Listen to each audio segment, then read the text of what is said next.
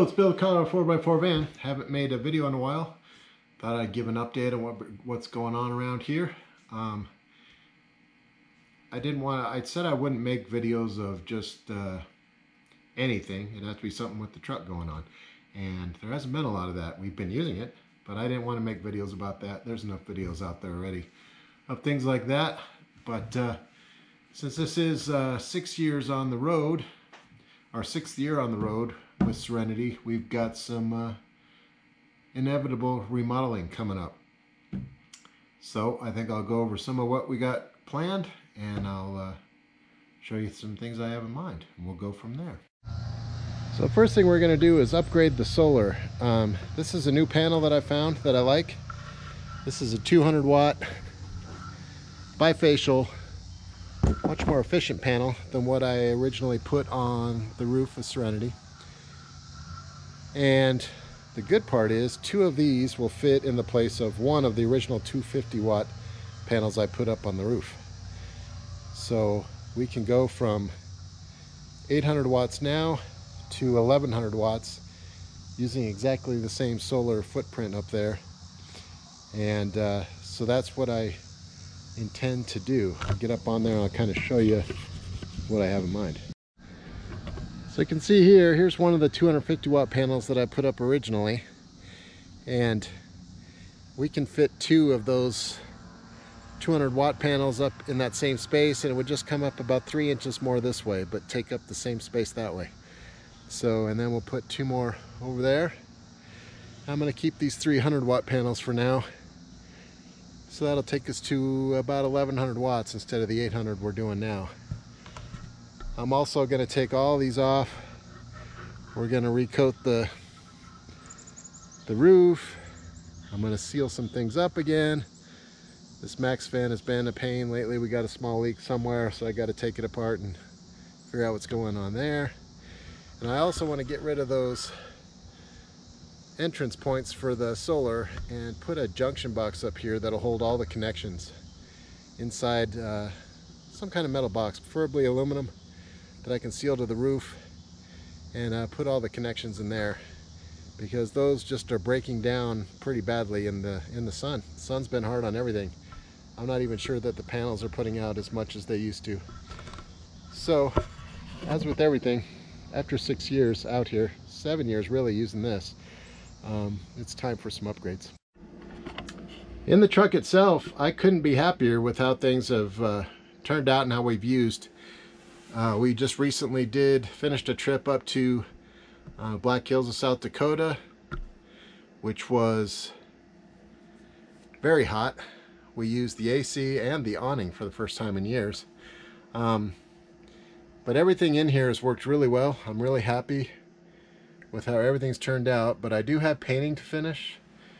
I have a cabinet to finish here for our luggage. I need to paint the ceiling. It's primered now, but I need to paint it.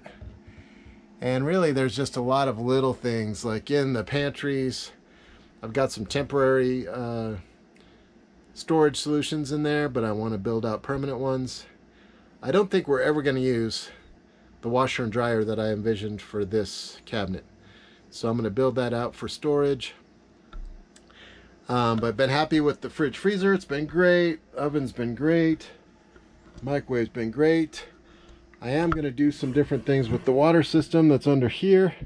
I don't like how the filler is almost too horizontal. It so when you fill it all the way and you make a turn, it some spills out. So I need to make some do some changes under there. So that's coming up. Um, the other big change is going to be the battery bank under here. And uh, some batteries that I've been watching for a long time have come under $400 each for the first time ever. Lithium, lithium ion batteries. And two of those will take the place of our six, six volt batteries that are under here. Um, so we'll have more, a little more capacity. Uh, we'll shave about 400 pounds of weight, which we're going to need for some other things I'm to show you here in a minute. So I'm going to upgrade the battery bank to uh, lithium ion finally. And because we have, it's there's a heat vent under here and the water heater, everything's under there. It stays warm all the time. I don't think I'll have any issues with charging lithium or anything like that. So The only other thing I want to do in here is we have the, um, well, I need to upgrade, I need to redo the door. When I built it, I thought I sealed it with epoxy and everything, but we're starting to get some, it's coming underneath and we're getting some water damage. It's, it's soaking in on the bottom edge here.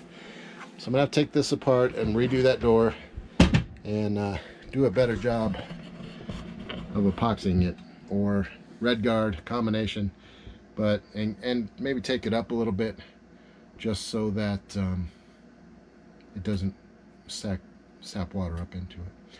So the only other thing I want to do is we have the uh, Starlink system now. We didn't take it on our last trip, but eventually we're going to use it, and I want to build it build it into uh, the truck here. So we'll set the uh, antenna just on the roof, but I want to have it built in, maybe in that bookshelf there, so the modem is just always set up, plugged in, ready to go. All I'll have to do is hook up the antenna on the roof, and we'll have internet anywhere in the world we want to go. So that's one other thing that I want to incorporate while we're in here. And I have, well, I could go on and on. There's a lot of stuff that I want to do over the next year. so, but that's the main things right now that I'm looking at. The other big thing on the outside is I have the winch and we're going to build the rear bumper with the winch on the back. It's an 18,000 pound winch. It has a long enough um, cord on it to go out the front as well. And we're going to redo all of this I'm also to get a new wheel. This wheel drives me crazy. It won't hold air for more than six months, so I just let it go now. But uh, brand new tire, but won't hold air. So if I need it, I'll I, I just use the onboard air and I'll pump it up. But we're to have two uh, uses for the winch to get us out of things, and also we'll incorporate it to lift the spare and lower it down for us. So that is on the plate. Um, the only other thing out here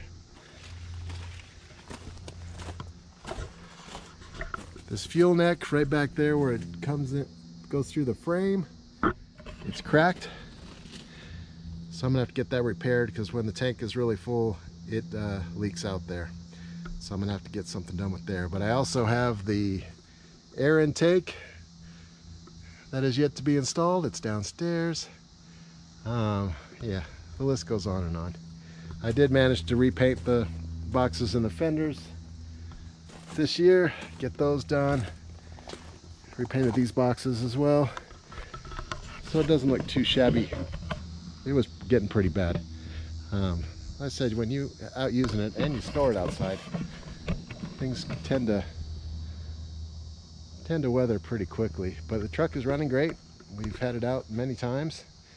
I did put this, add this sticker to the back. So anyone behind me that's getting frustrated, at least they know I have a sense of humor about it. But as you can see here, I have tons of pieces, parts, projects. All of this is future projects. All the stuff stacked up here is future projects. And most of the stuff down here is future projects. And up here is future projects. So I got a lot I can do over the next uh, next year to try and get most of it done. But uh, loving the truck. It is getting a little bit tight. Sam's getting older. She's, uh, but the cot is working out great. She sleeps down there. She sleeps great. So uh, we're happy with that. And uh, yeah, just looking forward to continuing what we've been doing getting out as much as possible. So that's the update. As I start these projects, I'll try to, uh, I'll save up a bunch of stuff and make a video as I go along. But um, especially the interior, because I'm going to have to strip everything out and uh, to do the painting, uh, some of the water stuff, other, other building projects in there that I want to do, the storage and all that. So everything will come out and uh, it won't be usable for a while. So that's really all we have going on. Our next adventures will probably be kind of mundane, really. We have um, some overnight stuff from my daughter's, some of my daughter's activities. I probably will be going to the Overland Expo Mountain West at the end of August. I think third week of August it is, and uh, catch up with whoever I see there. Um, really wanted to get down to Arizona this back in May, but couple of complications happened and we couldn't get there. But looking forward to uh, probably next May we'll get down to Arizona again, first time in a lot of years, and uh, see everybody that goes to that. So these are things we have coming up, and that's it for now. Uh, so until next time.